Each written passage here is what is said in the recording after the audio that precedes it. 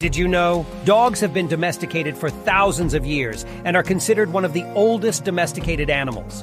Cats have a specialized collarbone that allows them to always land on their feet when they fall. This reflex is called the righting reflex. Guinea pigs are social animals and thrive in the company of other guinea pigs. Rabbits have continuously growing teeth, and they need to chew on objects regularly to wear them down. Parrots are known for their ability to mimic human speech and other sounds.